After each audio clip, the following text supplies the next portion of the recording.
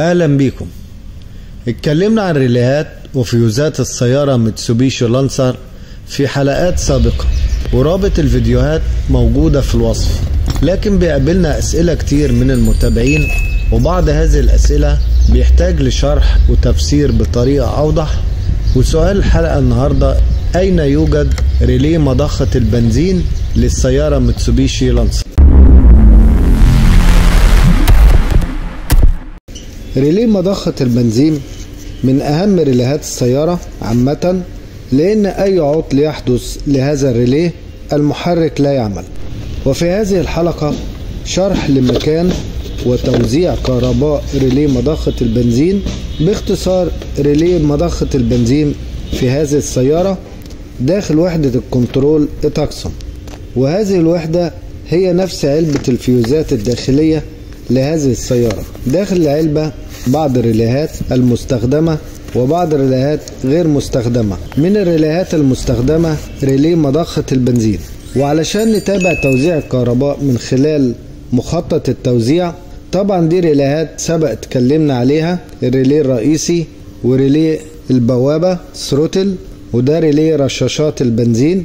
أما الجزء اللي إحنا هنتكلم عنه هو relay مضخة البنزين. أول خط كهرباء يعمل عند تشغيل ال contact ويصل لوحدة control المحرك من خلال وحدة ال control التقسم مكان هذا الخط في هذه الفيشة بنفس اللون الأبيض ونفس الخط بيتجه من داخل علبة الفيوزات إلى relay المضخة. وده يعتبر الخط الأول لل relay. الخط الثاني لونه أخضر ومصدره فيوز قيمته 15 أمبير من العلبة الرئيسية وهذا الخط موجود في هذه الفيشة بنفس اللون الأخضر ويتجه مباشرة إلى relay مضخة البنزين. الألوان ممكن تتغير في بعض الموديلات لكن المكان ثابت.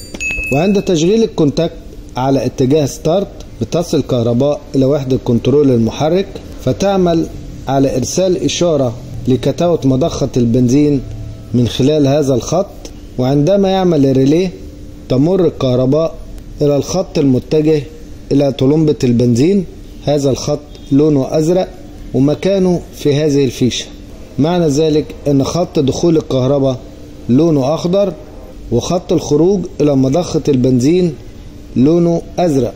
نلاحظ أن فيشة دخول الكهرباء تشبه فيشة خروج الكهرباء وتوضيح الأسلاك بالأماكن وبالألوان ليه أهمية كبيرة علشان إذا حصل أي عطل لل cut-out تقدر تعمل cut-out تقوية cut-out خارجي من خلال هذه الأسلاك. بكده نكون وضحنا مكان relay مضخة البنزين واتجاه توزيع الأسلاك بنفس ألوان الأسلاك. وتوضيح مكان ريلي مضخة البنزين واتجاهات توزيع الأسلاك وألوان الأسلاك وفيوز المضخة بكده نكون وصلنا لنهاية الحلقة. بشكركم وإلى اللقاء.